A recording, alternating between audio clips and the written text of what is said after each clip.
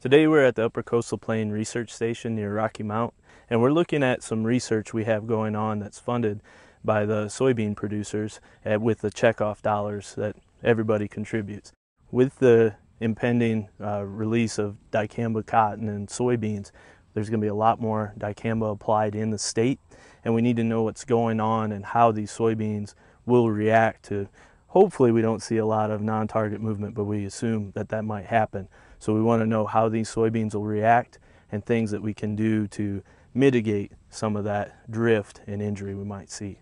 Some of the things that we can do to reduce drift and really try to keep from seeing this injury we see in these plots is make sure we're using the right nozzles, make sure our booms are low, and we're using the right herbicides. Make sure we're using the dicamba formulations that are labeled for the crops that we'll be spraying. We really have to make sure we keep these applications on target. Don't spray in a windy day. Make sure it's not over 85 degrees. And probably the easiest thing to follow is to make sure we don't have a sensitive crop nearby, you know, downwind especially, but just try to make sure we're aware of what we're doing and manage these applications. How close is too close? Uh, I'm a conservative guy by nature, so it's going to depend on the crop. If I can see tobacco and the wind's blowing that direction, I won't put dicamba out.